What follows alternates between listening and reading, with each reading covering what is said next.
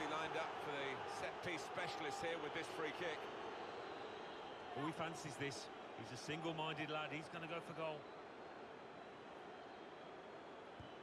Had a crack! Oh, he scored against the team he came here to play for. Well, he obviously knows the weaknesses within that defence, and he's made it pay.